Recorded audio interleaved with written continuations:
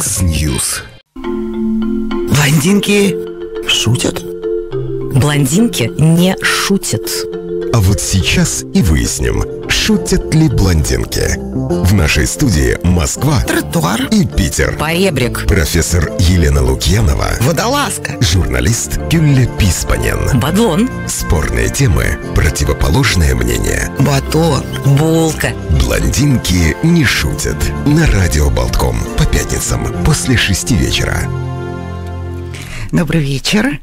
А, у нас сегодня я, Елена Лукьянова, а Кюля Писпанин у нас в Берлине организует вручение очень крупной журналистской премии. А, но я надеюсь, она с нами, и мы компенсировали ее отсутствие еще двумя прекрасными блондинками. А, это Ольга Суконникова и Ирина Козлова. И мы сегодня будем говорить, у нас прошел неделю назад а, всемирный латышский диктант, и разразилась довольно большая дискуссия в соцсетях по поводу того, нужно это, не нужно. Мы сегодня хотим поговорить об этом диктанте.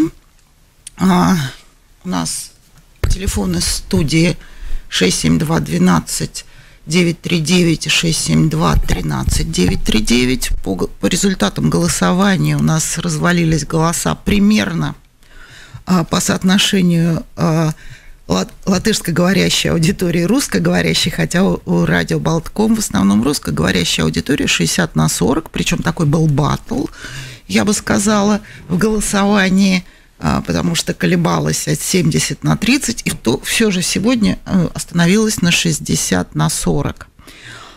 А у меня первый вопрос. Вот э, в, Рус... в России тотальный диктант по русскому языку организовывает государство. Это государственные деньги, государственная инициатива. Насколько мне известно, в Латвии это совсем не так, и государство к всемирному латышскому диктанту не имеет никакого отношения. Сейчас Оля мне скажет, так это или не так. Почему? Во-первых, почему государство не имеет, и почему почему Оля Суконникова стала инициатором и организатором этого диктанта. В общем, насколько мне представляется, Оля даже не совсем латышка. Спасибо за вопрос. А, так как я совершенно не делю людей на национальности, э, даже не важно, латышка я или нет. Э, не латышка. Ну и что? Я очень люблю латышский язык. Я очень благодарна моим учителям. Поэтому мне казалось, что если ты что-то действительно любишь, нельзя это просто брать и использовать. Ты должен дать что-то взамен. И вот мое взамен – это диктант по латышскому языку.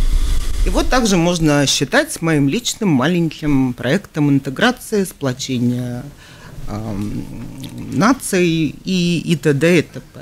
Вот ответ вкратце. А государство не имеет к нему никакого отношения. Почему? Наверное, это вопрос государства, а не ко мне. По большому счету, наверное, потому что было не очень нужно. И когда ты привлекаешь государство в том или ином э, виде, у тебя получается сразу масса новых обязанностей. Ты ему должен отчитываться, оно тебе говорит, как что делать, а я не хочу. То есть свободная личность Да. в свободной Стране стране. организует как хочет диктант, а как это оценивает народ, мы видим по результатам этого года. Ну хорошо, вот э, у диктанта в этом году юбилей. Диктанту 5 лет. 5 лет Оля Суконникова. А, человек, родившийся, выросший в Латвии, а, учившийся в латышской школе, а, организует, это вот это же трудно, это же трудно, и, и результаты разные. То есть э, увеличилась аудитория за 5 лет. На 25% по сравнению с прошлым годом. То есть сейчас э, в этом году диктант написала 2054 человека. Это ровно на 25% больше. Это чем- много или мало? А, ты знаешь как? А, смотря с чем сравнивать. С первым годом, когда у нас их было 700, можно сказать, что много. А, у меня нет какой-то конечной цифры, сколько человек могло бы его писать вообще, если мы берем население а, Латвии, включая тех, кто уехали, то, может быть, по 2 миллиона человек его могли бы писать, тогда цифра ничтожна. Тут э, сложно оценивать. Но Я довольна своей работой и работой команды. У меня теперь появилась малюсенькая команда. Я думаю, что мы молодцы и будем впредь стараться еще больше. Ирин, а вы как считаете, нужен вот эта частная инициатива, она хороша или нет? Ну, я, во-первых, раскрою небольшой секрет. Э, и для Оли это, возможно, будет неожиданно, что эта статистика, которую вы сейчас озвучили, это то, что вам действительно позвонили, зарегистрировались. Да? На самом деле, на самом деле диктант писали намного больше человек, потому что есть люди просто заинтересованные, они не хотят афишировать, там, э, возможно, какие-то страхи они боятся именно показать свое незнание языка, но любопытство и попробовать э, написать такой диктант есть. В общем-то, к таким людям отношусь и я. Дело в том, что в прошлую субботу я была в университете, я сейчас э, студентка в очередной раз, и учусь на преподавателя латышского языка, э, литературы и латышской культуры, и наша преподаватель Элита Стикуте, она говорит, надо же, в этом году пятый раз будет проходить этот диктант, и она говорит, и я пятый год подряд э, в это время постоянно на работе со студентами. И она предложила в аудитории, говорит, а давайте мы с вами напишем, ну хотя бы маленький какой-то фрагмент, ну давайте попробуем, давайте хотя бы посмотрим. Это было во время нашей лекции. И все поддержали, присутствующие в группе у нас 25 человек. Да, это преподаватели, педагоги э, из многих городов Латвии. Э, они имеют достаточно большой опыт, но преподают не э, только латышский язык, они преподают и английский, и немецкий, и французский, да, то есть это филологи которые работают в основном в школе. Э, ну, кстати, есть такие, которые только первый опыт получают, именно э, обучаются преподаванию. Работе, да. да. И все поддержали эту идею. Конечно же, здорово было, когда мы на большой экран вывели вот этот красивый зал, отсчет этого времени. Красавцы актера. Ой, ну, восхитительно, да. И э, начали мы э, никакой не подготовки. Мы просто достали листочки, да, и вот диктант э, как раз начался. Во-первых, конечно, голос ведущего, да, э, замечательные ведущие. Э, в, в аудитории мы оценили, что нам понравилось, как звучал сам диктант. Вы имеете в виду Зигфрида Мухтупавалса, который сначала вел, или Нет. именно чтеца, диктора. Чтец, да, был диктор, да, да, да, он, он хорошо так э, и расположил сразу, да, и рассказал. И мы начали писать. И дело в том, что когда написали первый абзац, у нас преподаватель спрашивает, а будем продолжать? И все говорят, будем, будем продолжать. И мы так написали диктант до конца. Но я, конечно же, поделюсь впечатлениями. Да. Э, помимо того, что э, мы были, скажем так, очень горды тем, что мы все-таки являемся той частью любопытных людей, да, которые э, пробуют себя именно на этом поприще. И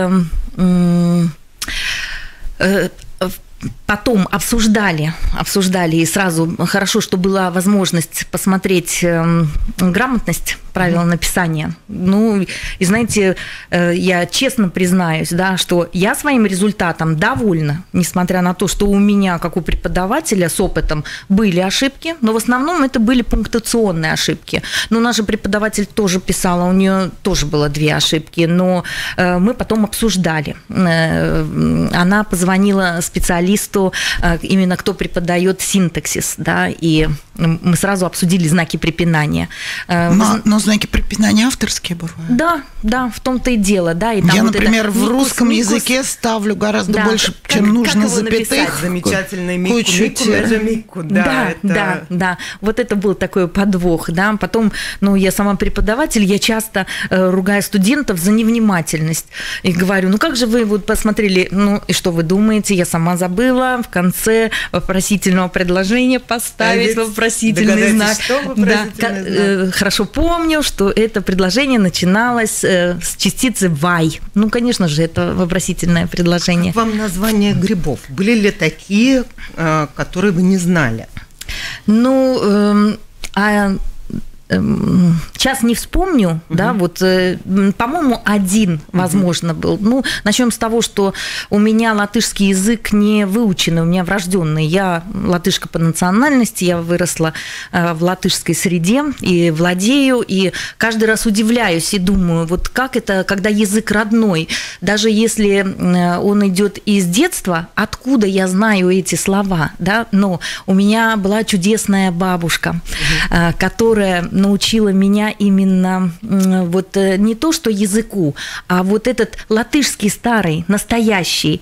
Ведь некоторые слова, которые были в диктанте, я признаюсь, э, мы не используем э, да, на наши... например. Да, да, да, не слышали. Невозможно понять, от какой формы слова оно образовано, да? Ну, а можно его просто взять, это слово, и на слух написать? Правильно. Ну, в общем-то, там было несколько слов, которые именно вот требовали такой. Мне кажется, что люди с музыкальным слухом могли бы это сделать. Только. Не знаю, только ли, но я знаю, что многие, э, не зная слова, в том числе латыши, писали его неправильно. То есть я, такие, как я, у которых медведь наступил при рождении на одно ухо, я от него побежал, он догнал на второй, я бы не написала. Но я струсила, я струсила. писали дреллюс, ну, знали, как правильно. Знаете, вот мне удалось, да, да, я почему говорю, я горда, потому что э, у меня не было ни одной ошибки, да, mm-hmm. вот в словах, там, знаки долготы, окончания, ни одной буквы неправильной, да, все слова были написаны правильно, вот э, две запятые поставила лишние и две не доставила, да, вот, э, и знак этот вопросительный. Ну, так бывает, вот. Да, но вот все-таки, э, вот вы получили удовольствие. Да, огромное, огромное. Нет, не только я, вся аудитория, кто писали, 25 э, человек, да, мы с восхищением радовались как дети, как дети, что нам удалось, что мы победили, да, и, ну, вот это само участие, наверное. Ну, хорошо, вот вы 25 человек... Обязательно. Вы 25 человек плюс писали. Я э, один человек минус струсила. А, прости, можно я скажу еще об этом да. человеке? Мне это кажется очень милым и важным. А, мы получили письмо а, из библиотеки маленького городка от руководителя библиотеки, или это называется заведующая, а, она нам прислала письмо а, читательницы, а, которая 88 лет. Она писала диктант, слушая радио, потом принесла его на бумажке, попросила сверить с правильным вариантом и отослать организаторам. У нее, кстати, было очень мало ошибок. Это ужасно мило, мне кажется. А вот э, и все же меня очень расстроила та, та дискуссия, которая появилась в соцсетях, что мы не будем из принципа писать диктант. Вот это прям меня так сильно расстроило. Я вообще не люблю, когда кто-нибудь что-нибудь делает из принципа, это раз. А во-вторых, э, что это за обиды такие? Почему мы живем в стране, которую можно назвать ну, вот таким местом хранения, обережения – вот этого редкого красивого языка.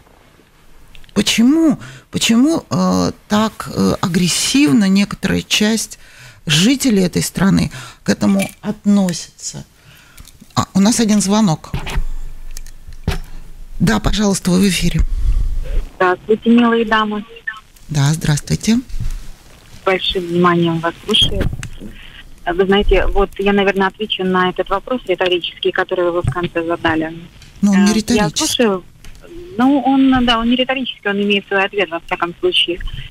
Uh, у меня. Вы знаете, я не латышка, я русская. Я говорю на латышском достаточно свободно. Я тоже преподаю на нем. И мне кажется, еще ни один латыш не пострадал от того, что я, возможно, где-то не там ставлю гару взаимное или что. Мне очень нравится язык. Я очень люблю свою страну. Но у меня нет той эйфории, которую я чувствую у вас. И я вам скажу почему. Потому что у меня два ребенка-школьника. И ровно второй год подряд. Я вижу их страдания. Знаете от чего? От того, что они заваливают э, контрольные одну за одной, причем один и другой, только потому, что не может понять задание на латышском языке. И вот у меня этой эйфории нет по поводу языка. И диктант я писать не буду. Я буду помогать им учить этот язык, Но вот как-то эти годы мне нужно пережить, и я боюсь, чтобы это не откликнулось дальше, именно э, не перешло на их отношение к этому языку. Понимаете, они дети. Мы можем как угодно объяснять, находить для себя какие-то аргументы, но это дети. Он приходит со слезами на глазах и говорит, мам, я знаю, я мог бы, но я не понял это задание. Ребята, это второй год продолжается. Спасибо. Вот, наверное, я ответила на Спасибо вам огромное. Мы в следующей части передачи это обсудим. Mix News. Итак, напоминаю, телефоны прямого эфира 672-12-939 и 672-13-939. Мы возвращаемся к нашему разговору о всемирном латышском диктанте. У нас перед рекламой а, высказалась слушательница, я очень ее хорошо понимаю. А, потому что на самом деле здесь у нас эйфории нету никакой. И единственное, что я не могу понять, как связано образование детей, а, э, то, что происходит на уроках латышского языка в латышской школе, и частный диктант, потому что диктант мы пишем только для себя. Тут никто нам его не навязывает. Тут у нас очень много правил в стране, которые нам навязывает государство и Центр госязыка. Но диктант с этими правилами, с государством не связан никак. Это частная инициатива. И мне-то как раз, если и есть эйфория, то по отношению к этой частной инициативе, а, вот а, на самом деле, а, у нас два звонка, может быть, мы одного слушателя послушаем, и потом Ирину попросим ответить, а что у нас в школе происходит. Пожалуйста, здравствуйте. Ну, здравствуйте. Вот, госпожа Лукьянова, ключевое слово «частная инициатива». Угу. А частные школы, по поводу которых вчера Конституционный суд принял окончательное решение – о запрете обучения на русском языке. Ну, во-первых, частные школы. Я все еще понимаю. Одна фраза. Ну, с вами, с, вами, с вами трудно полемировать, я Со вас немножко да, знаю. невозможно. Не, не, ну с вами возможно, но вы э, так это немножко перекошенно ориентированы. Я вот вас сейчас смотрел это, в этом, на этой неделе на RTVI «Эхо Москвы». Ну, у каждого свои взгляды здесь, какие мы есть, такие мы есть. Но вот у меня одно замечание такое ключевое, я считаю. Вот если бы эти все люди, который, да, а вот если связать все вместе, диктант, значит, идиллия в вашей студии, то есть общая картина языка. Язык – это тот ключевой раздел, водораздел. Можно Крым вспомнить, что угодно. Когда касается языка, это последнее, что, за что люди стоят насмерть. И вот если, вот кажется мне аргумент такой очень когда я задаю вопрос вот этим всем министрам, вот Конституционный суд, и на это Земелы, по-моему, там глава суда, да, которые принимают, ну, человеческой точки зрения неконституционные, вообще нечеловеческие решения. Вот если бы их всех заставили учиться в свое время в русской школе, на русском языке, вот заняли бы они эти посты и принимали бы они вот эти дикие, запредельно дикие решения, с которыми вы, госпожа Лукьянова, конечно же, согласны. Ну, спасибо вам большое. На самом деле, я сегодня попросила, может быть, мне переведут, я еще не настолько говорю по-латышски, решение Конституционного суда. Нет, я с ним не согласна. А, нет, я не считаю, что оно правильное в отношении частных школ и частных вузов, но я не могу сказать более подробно, потому что мне надо прочитать его с карандашом и найти юридические ошибки. Я точно знаю, что это не финал. А, я точно знаю, что один, а, одна жалоба от частных школ уже лежит в Европейском суде по правам человека, и э, вторая сейчас будет готовиться. У нас еще не было разбирательства по поводу частных вузов. Поэтому, ну, у нас сегодня не об этом речь, у нас сегодня разговор о диктанте. И мы не прокомментировали мнение первой слушательницы. Да, Ирин, и давайте попробуем а, все-таки, вот что происходит, ведь я вот на этой неделе видела письмо родителей а, русских, а, русскоговорящих детей, выложенное а, в соцсетях, которые обращаются к учителям, в том числе к учителям латышского языка, и просят не обижать их детей, помогать их детям переводить. Это, это проблема. И она проблема. Вот у нас переход окончательный а, по новым по новым требованиям закона будет с сентября 2021 года. Что вы скажете, Ир? Ну, мы говорим язык вне политики. Язык сам. Ну вот здесь получается, что язык да. это главный вопрос политики. Это называется вообще-то по профессионально этнолингвистический конфликт в стране. Да, это другая передача. Э, я пришла сегодня поговорить о диктанте, который мне понравился содержательно. И не только мне, а моим единомышленникам и моим сокурсницам, моим коллегам-педагогам. Да? Если мы будем говорить о том, э, как преподают язык в школе, как детям трудно, как их завалили ну, контрольной По-моему, у нас работой, эфиры, 90% эфиров радио Этому Болтком посвящено, последней да. недели посвящено этой проблеме. Да, это действительно ну, проблема. И э, в одночасье эту проблему не решить. Э, Почему люди читают книги? Э, Почему они увлекаются там поэзией, живописью, Музыкой. музыкой? Они проводят свободное время. Написание диктанта, вы правы, я вас поддержу, Елена Анатольевна, у нас не эйфория. Мы говорим о хорошем времяпровождении. Понимаете? И я благодарна Ольге, которая взяла инициативу в свои руки и предложила э, возможность поучаствовать. Почему-то, почему-то последнее время слово ответственность да, у людей отсутствует в понимании, в голове. Э, Дело в том, что взять на себя ответственность, организовать что-то, это сложно. Но вы же знаете, если об этом говорят, значит, это нужно, значит, э, получилось. Э, Какие-то недостатки, если и были, значит, надо их учитывать в следующий раз. А у нас еще один звоночек. Послушаем, И слушайте. тогда о недостатках. Да. Да, пожалуйста, здравствуйте, вы в эфире. Э, Добрый день, э, Александр.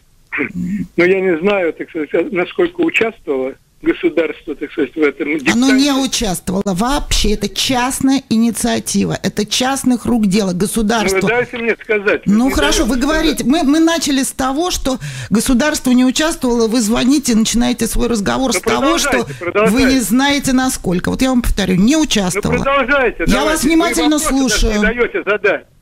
Пожалуйста, задавайте вопрос. Да, как вас студенты, не знаю, терпят. М, Трудно. да. Это вопрос, отвечай. Александр, пожалуйста, задавайте вопрос. Э, не обязательно, так сказать, государство участвовать э, в этом вопросе. Можно сделать это все э, через частные фонды. Элементарно.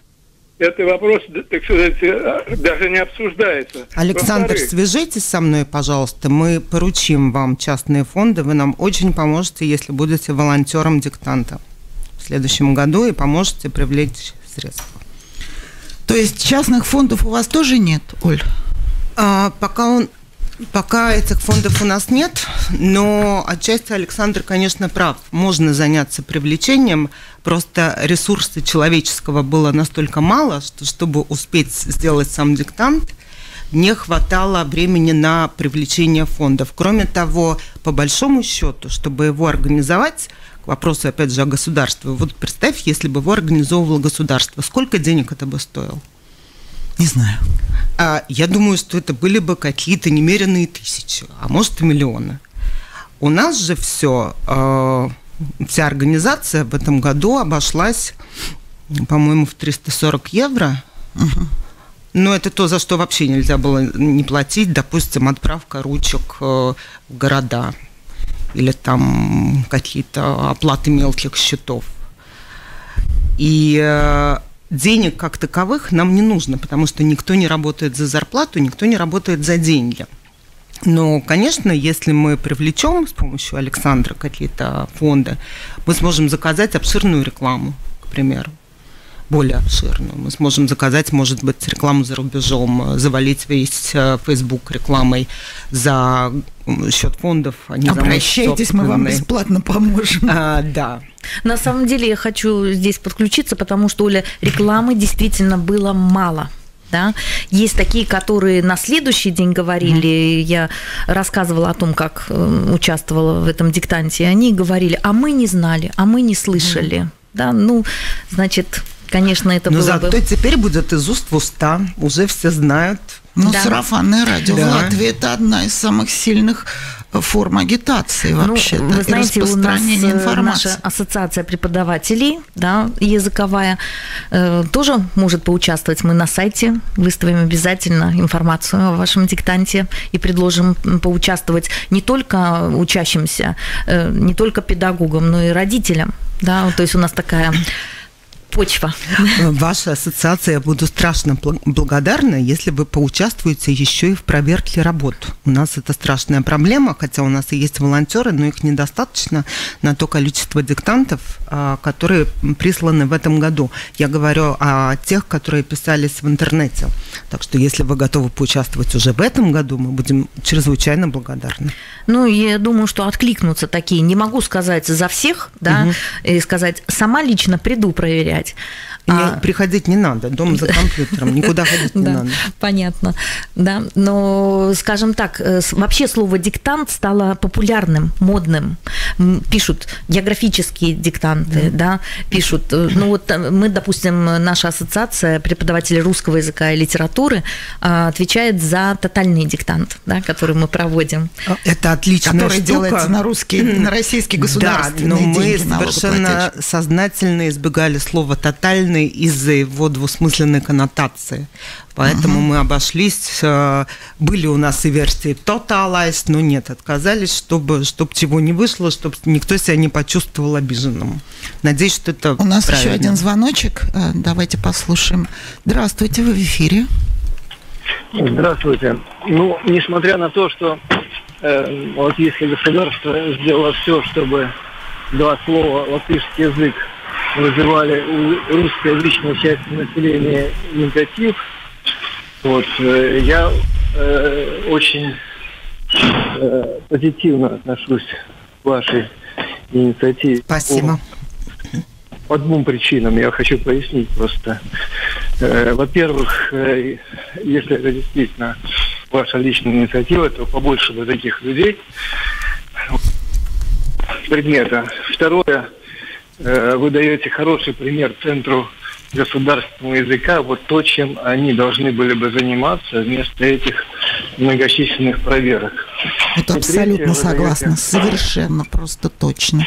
И третье, вы даете прекрасный пример того, как надо организовывать вообще мероприятия с минимальными средствами, с реально минимальными средствами. Да? Вы правы, что если бы это организовало государство, это стоило бы очень дорого, может быть, даже миллион. Вот по этим трем причинам э, ну, мне очень нравится ваша инициатива. Очень приятно. Спасибо, Спасибо вам большое. Да, поддерживаем, Ольга. Действительно, я стала говорить о слове ответственность, да, что люди перестали брать на себя ответственность, что-то организовывать, да, и вот э, хорошо, когда такие люди есть. И кто-то из э, слушателей сказал, побольше бы таких. Да? Э, это может быть диктант, это могут быть разные другие формы, но это то, что это не война, это то, что не разъединяет, а это то, что должно объединять и быть, в общем, э, я интересы. очень надеюсь, что эта инициатива, это еще и пример, допустим, для меня это важно, для моего сына, ему 17 лет, он учится во второй гимназии, и он мне очень помогал в этом проекте и в процессе подготовки он паковал коробки с бланками, ручками. Он работал, это была работа в день диктанта в библиотеке. Так что надеюсь, что у него в душе это тоже как-то отозвалось. Вот а, я скажу свое мнение. Я э, считаю, что этот диктант – это маленький праздник э, на фоне многих языковых проблем, которые существуют в стране. Я вообще считаю, что язык должен быть поощрением, должен быть праздником. Вот можно прийти а, во французском городке а, к булочной, и там будет, допустим, написано, я такое видела, что если вы просто покупаете багет, он будет стоить полтора евро. Если вы скажете «Донемуалю баге сильвупле», это будет э, евро.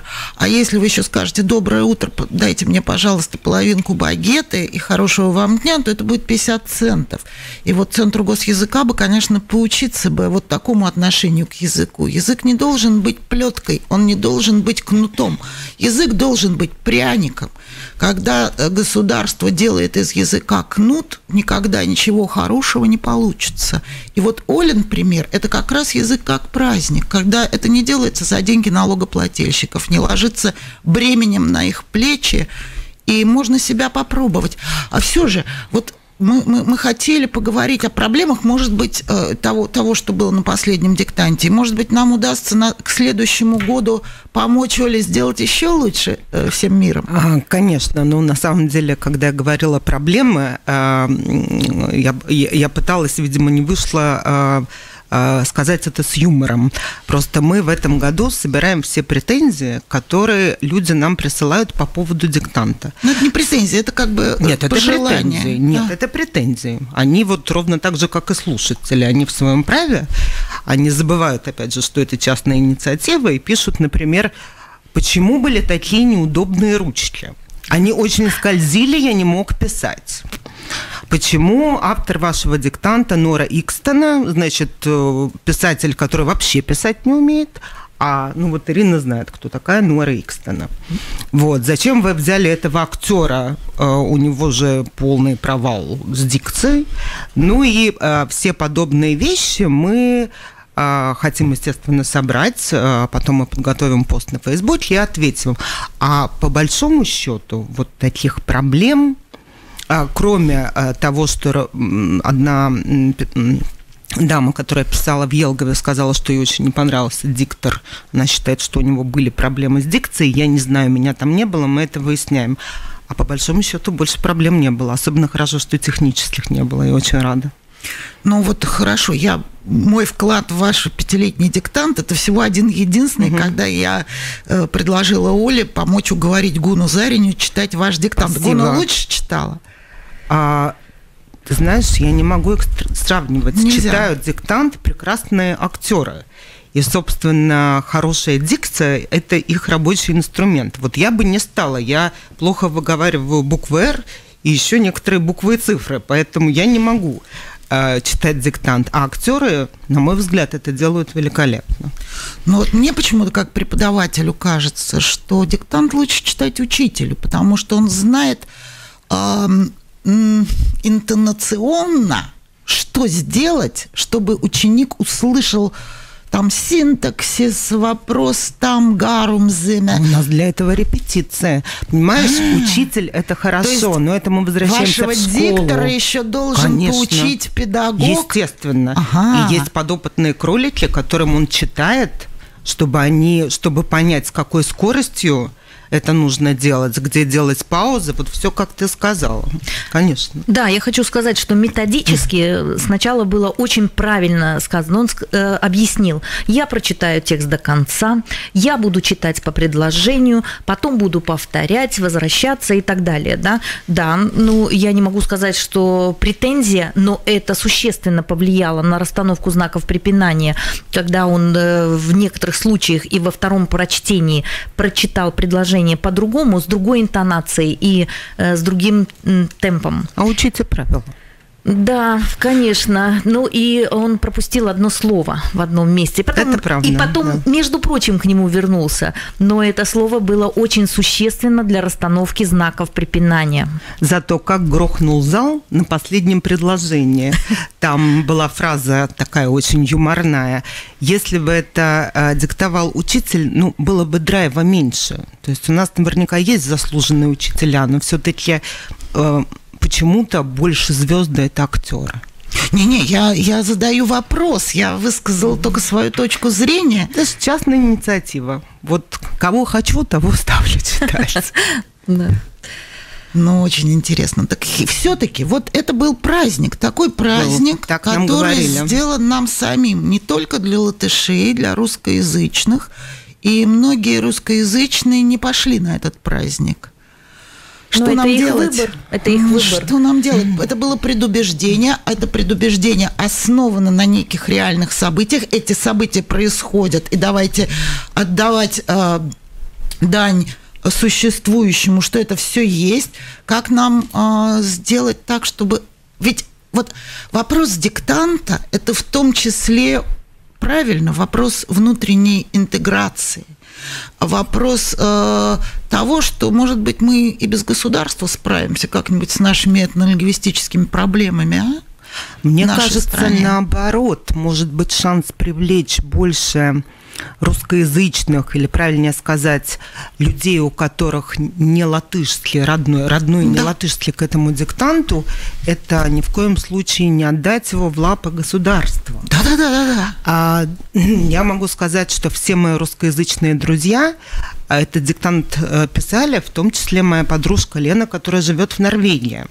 Они, правда, все смеются и говорят, что попробуй с тобой не напиши, с тобой же тогда уже дружить Ну, я не чуть не написала, да. которая учит полгода Вот, всего но- латышский. Но на самом деле это их искреннее желание. И насильно мил не будешь. Ну что тут сделаешь? Ну, наверное, больше призывать, рекламировать. Но если человек, как мы говорили в начале передачи, из принципа, вот он не будет этого делать из принципа, ну, значит, не нужно. Ну, мы еще можем говорить и о том, что э, когда мы говорим об учениках, мы говорим, вот этот гуманитарий, а вот Да. этот математик, да. Ну, этот математик, ну, захочет он писать, э, неизвестно. Почему нет? Нет, он, э, если он захочет, пусть он пишет, да, но никто не может, ну, обязать его, да, И писать. хорошо, что это не обязательная штука. Да, вот и что вот мы это очень не важно. ставим. Мы же Да. не ставим оценки. Тогда можно я вам посоветую, что надо сделать? Конечно. Сделать этот диктант модным. Мы пытаемся. Модным, будет модно, вопреки государственной языковой политике, ссорам, спорам на, э, Вот Александром нам фондов- фондов да на будет? площадке Сейма. Давайте сделаем этот диктант модным. Вот у нас, э, вот у меня в России э, сейчас не исполняет государство Конституции. Мы ведем большие воркшопы э, с молодежью, где, которые называются «Конституция – это модно».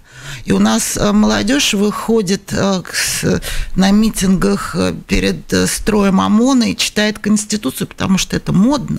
Люди выходят на улицу и просто читают Конституцию. Давайте сделаем, попробуем совместными усилиями ваш диктант модным. Ирина, что вы об этом думаете? Я думаю, обязательно надо Все, что модно, оно всегда хорошо развивается. Да, я хочу еще Оле предложить, она сказала, что будет информация на страницах Фейсбука, да.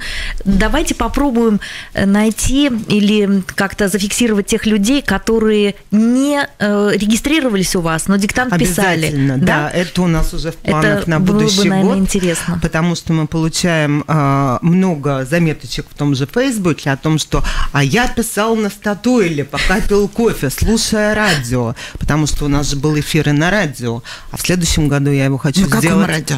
О, Латвийское радио 1. Ух Это ты. то, чего нет с тотальным диктантом. И у нас было в первый раз была прямая трансляция по радио, чтобы все вот эти люди за пределами Риги, особенно старики и старушки, они могли включить радио, написать диктант. А потом Это была инициатива радио, у вас вот прямо... Ну, догадайся. Латвийское радио 1. Это была моя инициатива, они меня поддержали. Молодцы. Я хочу пойти на телевидение в Ну, следующем году. Да, надо поддержать, надо. Ну, И да. ассоциация преподавателей мы тоже поддержим, конечно. Все это слышали, завалю Да, да. ассоциацию работой. Да. ну, все-таки, все-таки звонков у нас больше нет. Видимо, мы слушателей убедили в том, что они были неправы. Я надеюсь. Вы знаете, я как президент э, Ассоциации преподавателей русского языка и литературы могу сказать, что ассоциация организовывает много различных конкурсов, олимпиад. Мы сейчас готовимся к олимпиаде по э, русскому языку да, для латышских школ. И участие вообще латышских школ именно э, в наших мероприятиях достаточно большое. Если мы будем, кстати, говорить о соотношении процентности, я, вы приятно удивитесь, да, что это 60 на 40, 60 это те, которые больше участвуют именно из латышских школ. Даже русские не так активно участвуют. Пишут сочинения. У нас есть- русскому? по русскому языку, да, Э, участвуют в фотоконкурсе, мы участвуем активно в Татьянином дне, там есть э, ряд э, мероприятий. Русский медвежонок, который прошел 15 э, 14 ноября, да, мы только закончили, собрали работы, и каждый год тоже. И я просто думаю, наряду со всеми мероприятиями, да, ну, очень лаконично впишется и этот диктант. Насчет эм, моды, которую ты упомянула, а, очень коротко еще хочу сказать. У нас же в этом году писали Брайлем. Шесть человек Брайлем. слепые писали. Слепые. И одна слабослышащая женщина, что меня тут же натолкнуло на мысль о том, что в следующем году у нас тоже будет официально, я предложу писать слабослышащим и глухим людям. Поговори со Светланой Иванниковой. Она сейчас делает исследование со слепо-глухонемыми большое. Поговори с ней обязательно. Может быть, у вас возникнут общие идеи. Спасибо. Ну вот, я думаю, что мы достигли цели, что привлекли именно к этому диктанту. Правда, Оля? Я надеюсь. Посмотрим. Я думаю, мы не только привлекали здесь к диктанту, мы говорили о том, что вот ригоризм, вот этот принцип, а он не всегда ну, не всегда правилен. Иногда надо сделать Полезен. шаг в сторону угу. и посмотреть с другой точки зрения на то же самое явление, по отношению к которому ты был непримирим вчера. Ну а что ж, сегодня пятница, погода у нас сумрачная, а, чуть-чуть сыро в воздухе. Но в преддверии праздника... Вечер накануне праздничных дней. Ведите себя плохо, отдыхайте. С праздником всех. И до следующей недели.